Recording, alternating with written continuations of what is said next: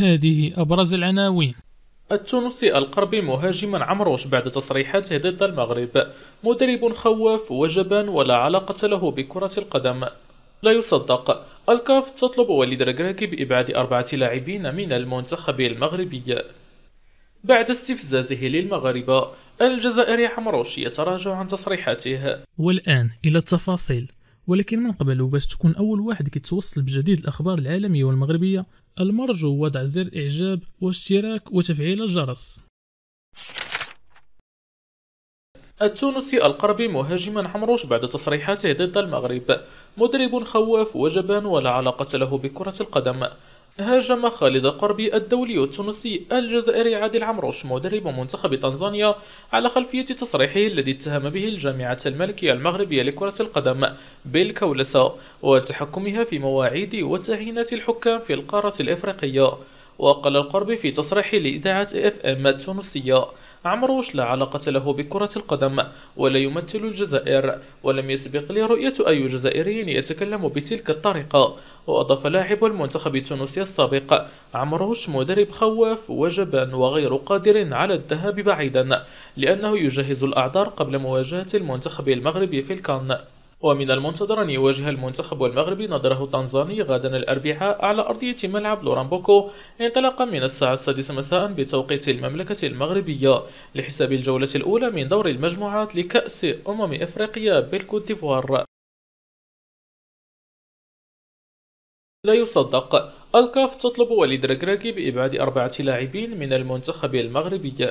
أخبر الاتحاد الإفريقي لكرة القدم كاف مسؤولي المنتخب المغربي خلال اجتماعه بهم بضرورة إسقاط أربعة لاعبين من اللائحة الرسمية التي ستواجه تنزانيا يوم غد الأربعاء برسم الجولة الأولى عن دور المجموعات لكأس إفريقيا للأمم. وتنص لوائح الاتحاد الإفريقي لكرة القدم كاف على تسجيل 23 لاعبا بورقة المباراة. هذا في الوقت الذي تضم فيه لائحة المنتخب المغربي 27 لاعبا. وسيكون الناخب الوطني وليد ركراكي ملزما باستبعاد أربعة لاعبين خلال مواجهة تنزانيا يوم الأربعاء بملعب لورامبوكو بمدينة سان بيدرو. وتضم لائحة المنتخب الوطني 27 لاعبا ويتعلق الأمر بكل من ياسين بونو ومنير المحمدي والمهدي بن عبيد وأشرف حكيمي. ونصير مزراوي ويحيى عطية الله إلى جانب نايف أكرد ورومان سيس ويونس عبد الحميد وشاد رياض وعبد القادر عبقار وسفيان أمرابط وعز الدين أناحي وإسماعيل سباري وأمير ريتشاردسون. بالإضافة إلى طارق تيسودالي وعبد الصمد الزلزولي ويوسف أنصاري وأيوب الكعبي وأمين عدلي وسفيان بوفال وحكيم زياش ومحمد الشيبي وبلال خنوس وأسامة العزوزي وأمين حارث. بعد استفزازه للمغاربة الجزائري عمروش يتراجع عن تصريحاته تراجع عادل عمروش مدرب المنتخب التنزاني عن تصريحاته التي اتهم من خلالها الجامعة الملكية المغربية لكرة القدم بالكولسة والتحكم في تعيينات الحكام ومواقيت لعب المنتخب المغربي. وقال عمروش في الندوة الصحفية التي تسبق مباراة المغرب وتنزانيا نحن في شمال إفريقيا نأخذ فقط السلبيات من العديد من الإيجابيات. وتبع عمروش المنتخب المغربي قلت أنه من المنتخبات العالمية وتكلمت عن التنظيم واللاعبين والفكر التكتيكي للمدرب وتحدثت عن الكثير من الأمور الإيجابية وزاد المدرب الجزائري. تحدثت أيضا عن طريقة اللعب وكل الأمور الإيجابية الأخرى. فالفريق الذي يفوز على البرازيل هل سنقول أنه ينتصر بالحظ؟ بل يعني أنه انتصر بإمكانياته ولا أحد قادر على حذف تاريخ المنتخب المغربي. وأكمل. نتائج المنتخب المغربي تجيب على كل الأسئلة. وقال الجزائري عمروس في تصريح سابق أن الجامعة الملكية المغربية تقوم باختيار الحكام والتحكم في مواقيت اللعب. وأضاف أنه قوة ضاربة تسير الكرة الإفريقية. وزير الرياضة التنزانية. اللاعبون جاهزون بنسبة 99% لمواجهة المغرب وهدفنا حصد ثلاث نقاط مهمة في بداية المسابقة. ألقى وزير الرياضة التنزاني دوماس دومبارو خطابا على لاعبي منتخب بلاده قبل مواجهة المنتخب الوطني المغربي لحساب الجولة الأولى من المجموعة السادسة لمسابقة كأس أمم إفريقيا بالكوت ديفوار.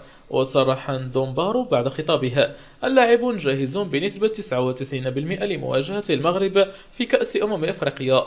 وأكمل حديثه قائلا جئت للوقوف على مدى استعدادنا للمباراة الأولى وهدفنا حصد ثلاث نقاط مهمة في بداية المسابقة هذا وسيدشن المنتخب المغربي مساره في الكان بمواجهة تنزانيا يوم غد الأربعاء على أرضية ملعب لورامبوكو انطلاقا من الساعة السادسة مساء بالتوقيت المغربي ما حقيقة تجهيز الركراكي شادي رياض من أجل خلافة سيس في دفاع المغرب؟ حرص المدير الفني للمنتخب المغربي وليد ركراكي على إقحام مدافع نادي ريال بيتيس الإسباني شادي رياض أساسيا في المباراة الودية التي تفوق فيها أسود الأطلس على حساب منتخب سيراليون بنتيجة 3 لواحد في مدينة سان بيدرو بالساحل العج حيث سجل للمنتخب المغربي مهاجم نادي إشبيلية الإسباني يوسف أنصاري ثنائية في الدقيقتين الثلاثين والخامسة والخمسين. مقابل ذلك سجل لاعب نادي ريان القطري سفيان بوفال الهدف الآخر لمنتخب بلاده في الدقيقة الخامسة والثلاثين. وفي الوقت الذي شهدت فيه المباراة الودية للمنتخب المغربي ضد سيراليون إقحام اللاعب شادي رياض أساسيا بدل زميله رومان غانم سيس مدافع نادي الشباب السعودي وقائد المنتخب المغربي. تساءلت الجماهير المغربية عبر مواقع التواصل الاجتماعي حول إمكانية اقتناع مدرب المنتخب المغربي بمؤهلات اللاعب شادي رياض المتألق في الآونة الأخيرة في بطولة الليغا الإسبانية. كي يعتمد عليه إلى جانب نايف أكرد مدافع نادي ويست هام الإنجليزية كلاعبين أساسيين في قطب دفاع منتخب بلدهما وذكر موقع العربية الجديد أنه حصل على معلومات من مقرب من المدرب وليد ركراكي أكد من خلالها أن اعتماد المدرب وليد ركراكي على اللاعب شاد رياض بدل اللاعب رومان سيس. جاء في إطار رغبته في متابعة مستوى اللاعب عن قرب وعدم جهوزية قائد المنتخب المغربي البدنية. وفي هذا الإطار تحدث ذات المصدر جرى إشراك شاد رياض من قبل وليد ركراكي أساسيا من أجل أن يتابع حضوره في خط دفاع المنتخب المغربي ومدى انسجامه مع نايف أكرد المدرب استغل عدم جهوزية القائد سيس البدنية ليمنح شادي كامل فرصته مع بداية بطولة كأس أمم إفريقيا حيث سيعود الركراكي ليعتمد على ثنائية سيس وأكرد ولن يغامر كثيرا بالاعتماد على لاعب شاب يكتشف أجواء المنافسة القارية لأول مرة وطبعا سيس يملك شخصية قوية وله من التجربة ما يكفي كي يكون في أتم الجهوزية قبل مباراة تنزانيا أما المدرب فقام بعدة تغييرات في المراكز للاعبيها في المباراة الودية الأخيرة ضد سيراليون وأهم شيء كان فيها ليس هو الفوز بل عدم إصابة أي لاعب. خاصة أننا نفتقد لاعبا مميزا من قيمة نصير مزراوي الذي يعاني من إصابة في ربلة الساق ولم يجهز بعد.